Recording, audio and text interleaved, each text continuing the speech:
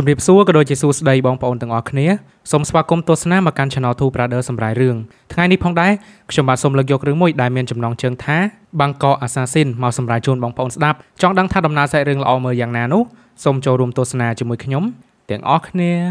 សាច់រឿងត្រូវបានចាប់ផ្ដើមឡើងជាមួយនឹងក្មេងប្រុសម្នាក់ដែលមានឈ្មោះថាផុងដែលតែងតែត្រូវម្ដាយរបស់គេស្រែកដាក់ខ្លាំងៗជារៀងរាល់ថ្ងៃលើកនេះគេក៏មកអង្គុយពិបាកចិត្តនៅខាងក្រៅផ្ទះម្នាក់ឯងបានបន្តិច ក៏មានបរិម្នាក់ជីឡានមកនិយាយជាមួយគេហើយក៏បានបញ្ចុះបញ្ចូលថានឹងឲ្យរបស់លេងទៅគេជាច្រើនផុងក៏ជឿតាមពាក្យសម្ដីរបស់បរិសនោះហើយក៏បានឡើងឡានទៅជាមួយគាត់បាត់ទៅបរិសម្នាក់នោះគឺជាសមាជិកក្រុមចាប់ចម្រិតដ៏ខូខើដែលតែងតែចាប់ចម្រិតក្មេងៗឲ្យមកធ្វើការងារផ្សេងៗបម្រើពួកវាផុងក៏ត្រូវបានបរិសម្នាក់ក្នុងក្រុមនោះវេធ្វើបាបហើយយកគេទៅទុកនៅក្នុងបន្ទប់មួយផុងក៏លួចចូលមើលតាមប្រហោងឃើញមានក្មេងៗមួយចំនួនត្រូវពួកអ ுக ្រិតជនទាំងនោះចាប់មកធ្វើបាបដែរក្រុមនឹងមិនមែនត្រឹមតែធ្វើបាបក្មេងៗនោះទេ ពួកវាក៏មានចេតនាធ្វើឲ្យក្មេងៗពិការដើម្បីឲ្យទៅសុំទានរកលុយឲ្យពួកវាដែរក្មេងប្រុសម្នាក់ដែលមានឈ្មោះថាណាក៏ត្រូវបានបរិម្នាក់យករបស់រឹងមកវាយក្បាលរបស់គេមួយទំហឹងដែលធ្វើឲ្យគេខ្លាចទៅជាមនុស្សដែលមានសតិមិនល្អក្មេងប្រុសដែលមានឈ្មោះថាកាក៏ត្រូវបានគេវាយឲ្យដាច់ក្រដាស់ត្រចៀកខ្លាចទៅជាមនុស្សថ្លង់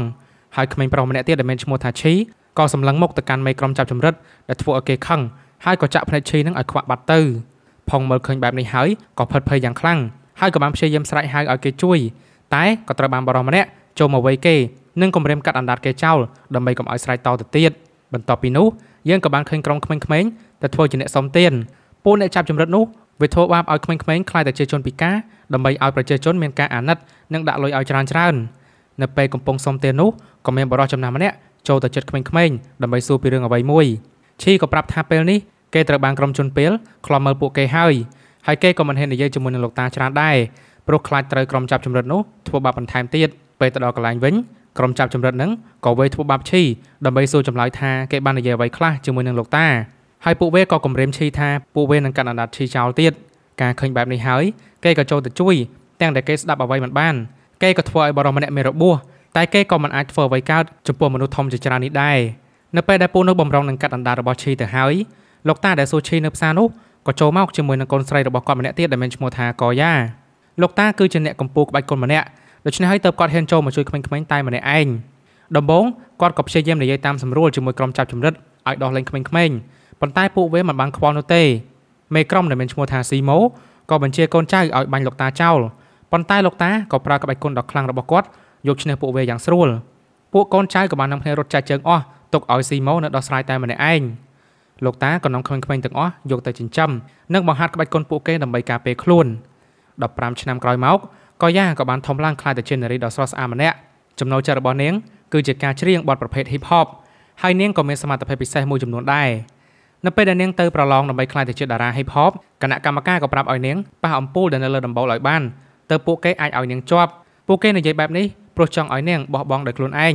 ប៉ុន្តែពួកគេក៏ភ្ញាក់ផ្អើលយ៉ាងខ្លាំងដោយសារតែកយ៉ាមានសមត្ថភាពលោតដូចហោះទៅដល់ដំបូលបាន ទោះជាយ៉ាងនេះហើយនាងក៏នៅតែធ្លាក់ដដែលដោយសារតែនាងធ្វើឲ្យបែកអំពូលហើយធ្លាក់ត្រូវពេញមុខគណៈកម្មការ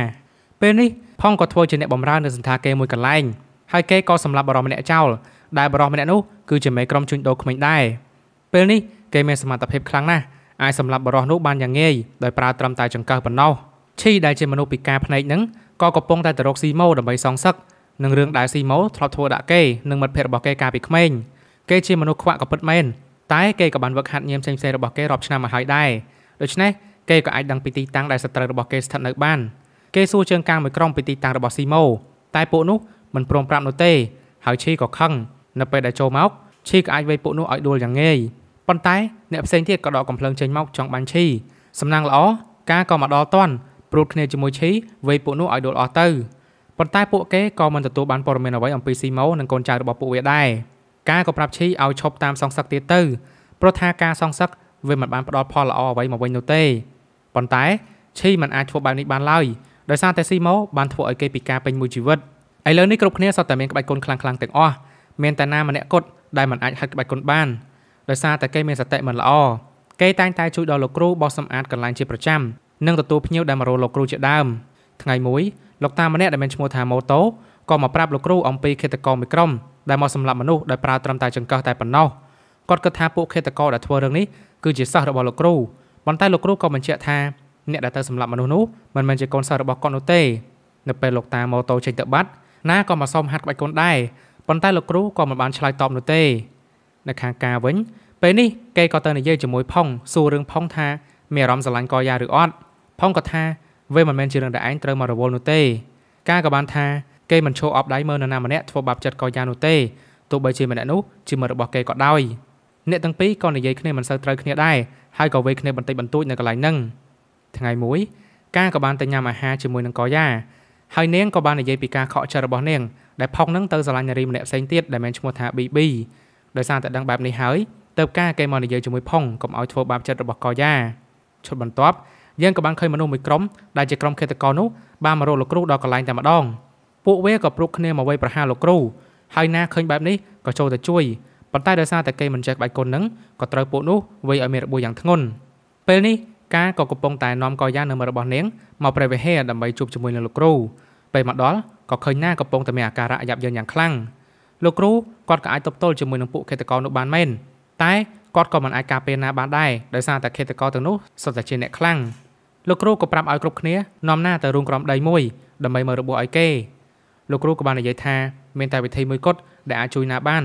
ប៉ុន្តែវិធីនោះគឺពិបាកណាស់ហើយបើសិនជាធ្វើបានសម្រេចណាអាចជេរឡើងវិញមែនប៉ុន្តែគេនឹងបាត់បង់ការចងចាំគ្រប់យ៉ាងគ្រប់គ្នាក៏រៀងស្ទាក់ស្ទើរបន្តិចដែរប៉ុន្តែក៏គ្មានជំរឿអ្វីក្រៅពីជួយជីវិតណាឲ្យរស់រានឡើងវិញសិនដែរលោកគ្រូក៏បានឲ្យសិស្សរបស់គាត់នាំគ្នាយាមាត់រូងចំណែកគាត់ក៏ប្រើធម្មពលដែលគាត់មានដើម្បីព្យាបាលណាខណៈដែលឈីនៅម្នាក់ឯងជន់បិទមុខម្នាក់ក៏លួចចូលមកហើយគេក៏ប្រើជំនាញសម្រាប់ខ្លួនរបស់គេ ធ្វើឲ្យឈីមិនអាចមានអារម្មណ៍ដឹងពីវត្តមានរបស់គេនោះទេបានបន្តិចការនឹងកយ៉ាងក៏ត្រឡប់មកវិញហើយក៏បានលើសំឡេងលោកគ្រូស្រែកពួកគេក៏ប្រញាប់ចូលទៅជួយហើយពួកគេក៏ឃើញថាជនបិទមុខនេះបានសម្លាប់លោកគ្រូបាត់ទៅហើយគ្រប់គ្នាក៏ចាប់ផ្ដើមប្រយុទ្ធជាមួយនឹងបរិះបាត់មុខនោះផុងក៏ទៅតែមកដល់ហើយក៏បានចូលជួយវេដូចគ្នាប៉ុន្តែពួកគេមិនអាចធ្វើអ្វីម្នាក់នោះបានទេគេក៏រត់ចេញពីកន្លែងនឹងបាត់ទៅបន្ទាប់ពីនោះគ្រប់គ្នាក៏បញ្ចុះសពឲ្យលោកគ្រូទាំងសោកសៅប្រគាត់គឺជាអ្នកមានគុណដល់ពួកគេគ្រប់គ្នា ផុងហើយនឹងការក៏ប្រកែកគ្នាទម្លាក់កំហុសឲ្យគ្នាទៅវិញទៅមកបានបន្តិចក្រោយមកផុងក៏ទទួលបានទូរស័ព្ទពីមិត្តស្រីរបស់គេដែលហៅឲ្យប្រញាប់ទៅផ្ទះរបស់នាងគេក៏ប្រញាប់ទៅតាមការហៅរបស់សង្សារគេភ្លាមភ្លាមដោយមិនខ្វល់ពីមិត្តភ័ក្តិនោះទេអ្វីដែលភ្ញាក់ផ្អើលនោះគឺនៅពេលដែលគេទៅដល់ផ្ទះក៏ឃើញថាម្ដាយរបស់ BB នឹងជាម្ដាយរបស់គេដែលបានបែកគ្នាជាច្រើនឆ្នាំនោះប៉ុន្តែគាត់ចាំផុងមិនទាន់បាននៅឡើយទេផុងក៏មិនទាន់ប្រាប់គាត់ដែរព្រោះគេនៅមានរឿងផ្សេងទៀតដែលត្រូវដោះស្រាយការហើយនឹងឈី ក៏នាំគ្នាដើរស្វែងរកថ្នាំដើម្បីព្យាបាលណាហើយក៏បានទៅជួបលោកតាម្នាក់និងប្រយុទ្ធគ្នាបន្តិចបន្តួចលោកតានោះក៏ប្រាប់ថាមានតែទឹកភ្នែកនេកទេដែលអាចព្យាបាលណាបានហើយទឹកភ្នែកនេកនោះគឺមាននៅក្នុងបេះដូងរបស់កយ៉ាអញ្ចឹងមានន័យថាបើសិនជាចង់ជួយណាពួកគេត្រូវតែលះបង់ជីវិតរបស់កយ៉ាអ្នកទាំងពីរក៏ចាប់ផ្ដើមវល់ក្នុងចិត្តមិនដឹងថាត្រូវធ្វើយ៉ាងណានោះទេចុងក្រោយណាក៏ត្រូវស្លាប់ហើយស្អែកឡើងផុងក៏មកប្រាប់ការនឹងឈីពីកន្លែងរបស់ស៊ីម៉ូនិងគ្នាគ្នារបស់គេអ្នកទាំង3ក៏សម្រេចចិត្តថា នឹងទៅសងសឹកជាមួយនឹងស៊ីម៉ូជំរះគំនុំចាស់ចោលស៊ីម៉ូនិងកូនចៅរបស់គេដល់ពេលនេះហើយក៏នៅតែបន្តដល់ចាប់ក្មេងៗដោយពីមុនដដែលតែលើកនេះកូនចៅរបស់ស៊ីម៉ូក៏ត្រូវបានអ្នកទាំង3ចាត់ការក្នុងពេលដែលពួកគេកំពុងតែចាប់ក្មេង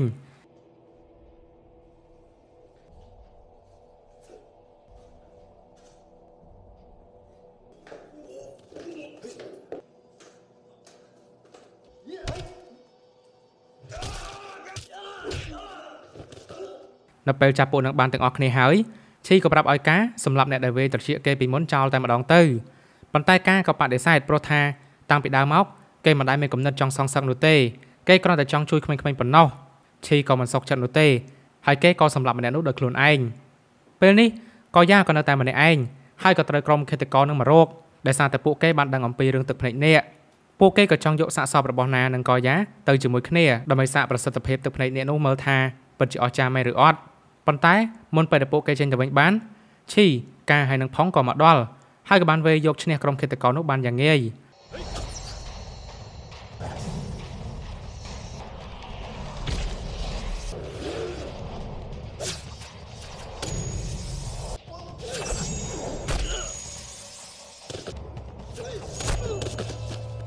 ប៉ុន្តែបានបន្តិចពួកគេក៏ទប់ទល់លែងជាប់ដោយសារតែមេក្រុមឃាតករបានមកដល់ ហើយក្បាច់គុនរបស់គេនោះគឺខ្លាំងជាងលោកគ្រូទៅទៀតនៅពេលដែលម្នាក់នោះបំរុងនឹងសម្លាប់គ្រប់គ្នាទៅហើយណាក៏រស់ឡើងវិញហើយក៏បានប្រើកម្លាំងថ្មីរបស់គេមកវេដែលធ្វើឲ្យមេឃាតករនោះស្លាប់យ៉ាងងាយ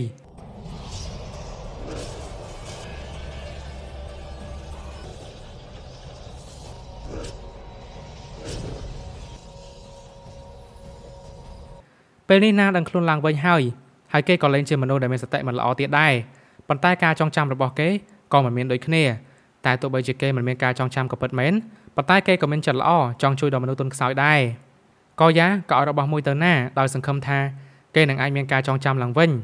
ហើយសាច់រឿងក៏ត្រូវបានបញ្ចប់ត្រង់ផុងនឹងទៅជួបជាមួយនឹងម្ដាយរបស់គេវិញហើយគេក៏បានប្រាប់ការពិតទៅកាន់គាត់ថាគេនឹងគឺជាកូនរបស់គាត់សូមអរគុណអ្នកទាំងអស់គ្នាចំពោះការតាមដានទស្សនាវីដេអូមួយនេះរហូតដល់ទីបញ្ចប់យើងនឹងជួបគ្នានៅវីដេអូបន្តទៀតបាយបាយ